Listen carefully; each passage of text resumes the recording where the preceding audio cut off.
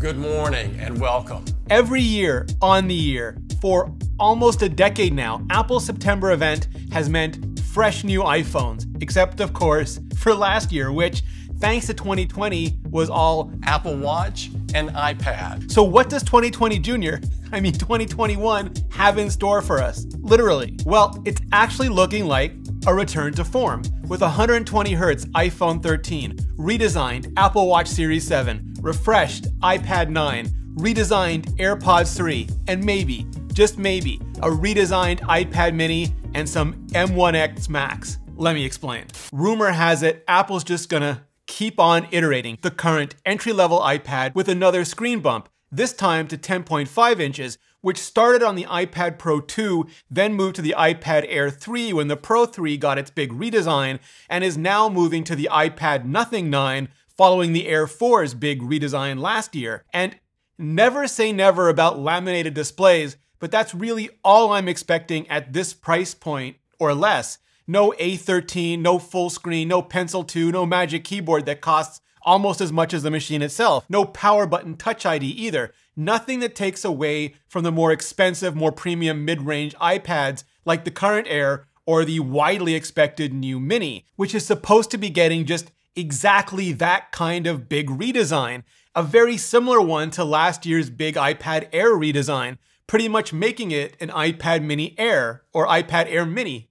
Both with deleted home button, Thanos snapped bezels, power button mounted Touch ID, and a rainbow of colors, but with a mid-range price point between the Nothing and the Air to go with it. I've got a full video up for you on all the new iPad mini rumors, and I'll link to it right below the like button. But I also have some questions, like, Will it require a new smaller Apple Pencil 2? Could Apple possibly make a Magic Keyboard tiny enough to fit it? And will it actually be announced at the September event or will it be part of the more traditional for iPad October event instead? Apple Watch Series 7 is reportedly getting a new design, a new retro future chic design as well, something to bring it more fully in line with the current flatter, more squared off iPad and iPhone designs. There are also rumors of better swim tracking, but other health features like body temperature, blood sugar, and blood pressure might still be a year or several away. And the Edition materials of ceramic and titanium might simply be going away, with the focus shifting instead to the aluminum models, but with an iPhone-like, even Mac-like set of brand new Apple chromatic colors. Full video already up on that for you as well. So will Apple finally retire the Series 3, update the Apple Watch SE,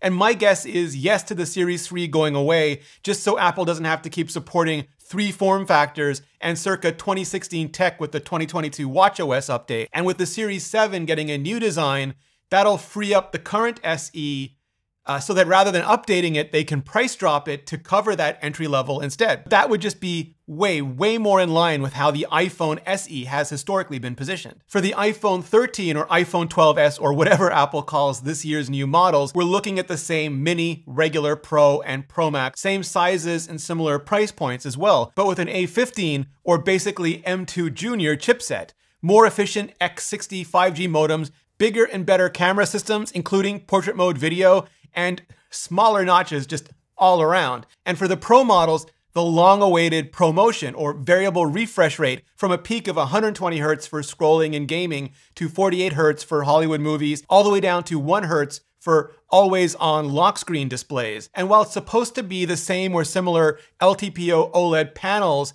as the Galaxy S21, the combination of Apple's custom drivers, display engineering, and iOS pipelines and color management and performance, it could all just melt eyeballs in hitherto unimaginable ways. And yes, I did absolutely just say hitherto. Full video on all that, you know it, link below the like button. AirPods 3 are supposed to be much more like AirPods Pro, at least in terms of the design, if not anything like the active noise cancellation or transparency. But the biggest questions I still have is whether that inductive charging will be included by default now, whether there'll be a price drop and lower cost Apple rather than just Beats truly wireless headphones, and whether or not they'll have the traditional all on in ear design that some love, others hate, or the silicon tip options from the AirPods Pro that others love and some hate. But the elephant sized wild card in the room is the M1X MacBooks Pro, which everyone and their YouTuber expected back in WWDC in June,